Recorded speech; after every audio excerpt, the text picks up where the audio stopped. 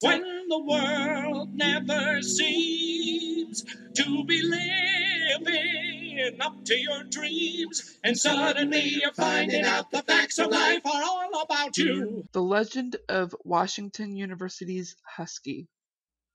The lone husky trotted by a large brick building as he searched for a dry place to nap. He panted happily. The husky observed his black and white surroundings. The blue cloudy sky was gray to him. His head turned to another brick building. Different shades of gray bricks stood out to him. His eyes landed on the arches, which led to the doors of the building he trotted beside. Despite his lack of architectural knowledge, he figured the arches would be strong and long enough to cover him from the hot sun. The husky shook some of the mud off his fur coat. Though mostly dry, the mud landed everywhere and spread out like cigarette smoke. He walked to the arches, circled four times, laid down, and closed his eyes. He yawned with his tongue curled upward. The husky soon fell asleep.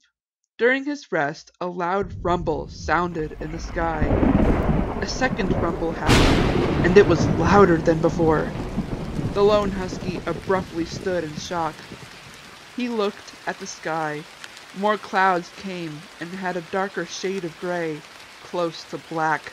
He sniffed the air. After a sharp bark, he dashed away to the other building. He scratched the door profusely. The husky barked a few times. He whined. It didn't take long for a human to open it. The man and his pupil observed the husky. He whined once more and aimed his head to the sky. He barked short and loud. They hesitated. The lone husky was still covered with mud. He circled about.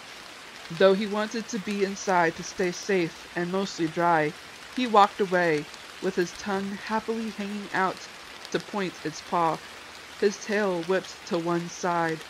At that point in time, a small portion of clouds parted. The sun's rays brightly shined on him. The sun's rays were too powerful.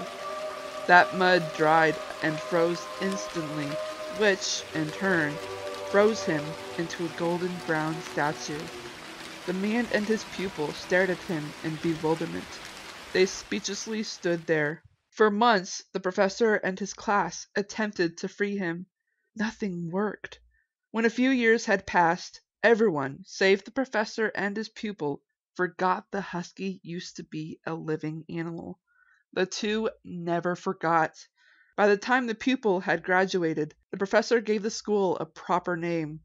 He then chose the lone husky as its mascot, so future generations would know. Help any animal, no matter what.